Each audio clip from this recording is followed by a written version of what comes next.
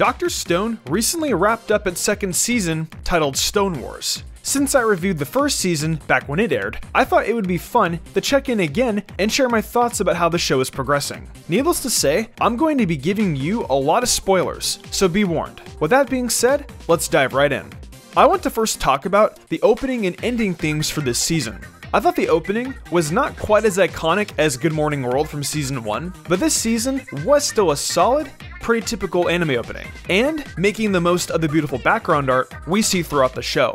The ending song, I didn't dislike it, but at the same time, I didn't think it was anything special. It was cool the way it showed Senku growing up surrounded by science, then being petrified and so on, but I thought the lack of contrast between the line art and the background made it a bit difficult to watch. Now that I've got that off my chest, let's talk about the actual show. Episode 1 starts with a summary of how the Stone World came to be, in the form of Gen telling a story to the children in the village while they work. It's a useful way to catch up the audience without distracting from the story. Then, we pick up where we left off, preparing to take the fight to Tsukasa by making instant ramen. I thought it was really cool to see the process behind something so simple that a lot of us take for granted. This is a running theme in the show, continuing from the previous season, and it was nice to have that back so quickly. We are also introduced to Senku and Gen's plan to convince some of Tsukasa's people that the US is up and running and on their way to rescue everyone in Japan. They want to use the voice of Lillian, from the record they found at the end of the last season, with Gen imitating her. It's an important character moment because it makes the stakes feel much higher than season 1 right off the bat, especially given that Senku and Gen want to protect the others from being caught up in doing something so deceptive. And when Chrome interrupts, we also see how serious he is about following Senku and saving everyone on Earth. This episode was a very strong opening in my opinion, really setting up the rest of the season. Following this, we see them put the plan into action, with the unlikely trio of Gen, Chrome, and Magma heading off to deliver a cell phone to their spies in Tsukasa's empire. However, with Homura on the delivery group's trail, we learn that she used to be a gymnast. They manage to capture her though, using some flashy science. Once the phone is set up, we get a really heartwarming reunion between Senku, Taiju, and Yuzuriha. Even if they're only connected by voice at this point, it's still adorable how happy they are to be in touch again. Unfortunately, the delivery team is attacked by a new character, Ukyo. He has excellent hearing, which really throws a wrench in the works considering the deception plan is entirely sound based. Gen and Magma get away from him, leaving Chrome in the enemy's clutches.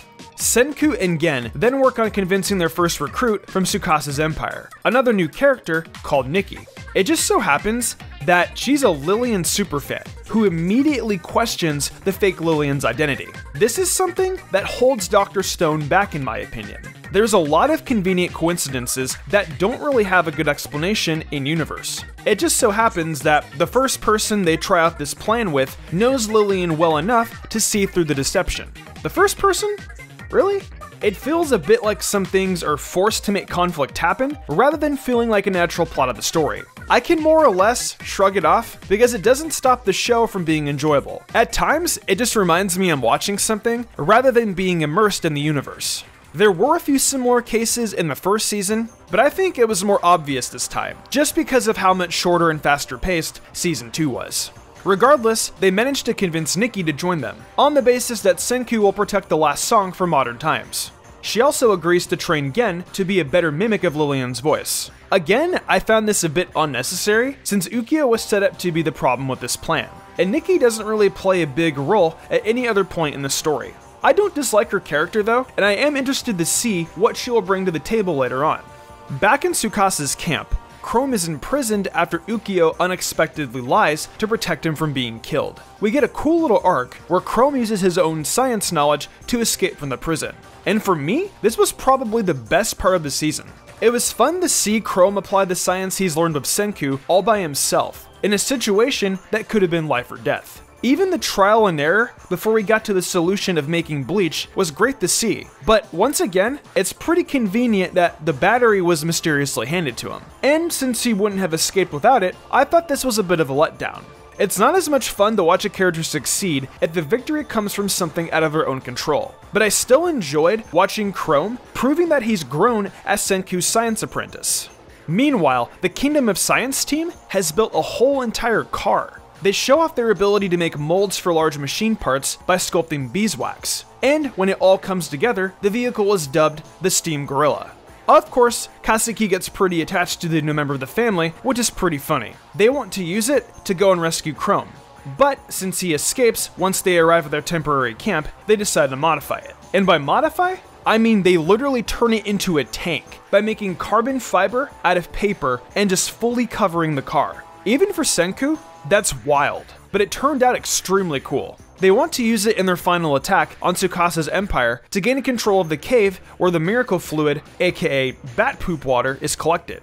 However, as it turns out, Tsukasa has predicted this attack and sets up traps specifically to stop a vehicle. I'm putting this in the too convenient category since there's really no explanation for how Tsukasa would exactly predict the plan that Senku's group hadn't even finished. During this season, we do get a good portion of backstory for Tsukasa and how he worked to become the so-called strongest high schooler. But there's no part of his history that lets us know why he would have knowledge of battle strategy or to account for an incredible intelligence. Whereas for Senku, we know that he's just always been a super smart kid who studied really hard. Before the attack, Senku's team finishes up the voice mimic plan, which manages to convince a lot of Tsukasa's people to follow Senku. Ukyo does interrupt them, but after speaking to Senku personally, he also agrees to help, on the condition that nobody gets killed. He saw Yuzuriha's secret mission, and it turns out that she was putting back together all the destroyed statues by hand which Ukyo was really impressed by. Since they were already going to try and finish the attack without harming anyone anyway, it's all good.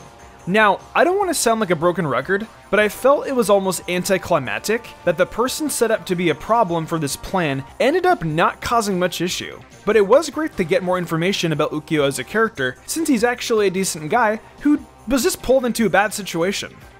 When the team initiates the final attack, it's set up to be kind of dramatic, with the whole speech about how the first 20 seconds of the battle are what matter. They fire a single missile from the tank, which is fake, but designed to scare the enemy. Also using sound cannons, they managed to finish up the battle in those precious 20 seconds.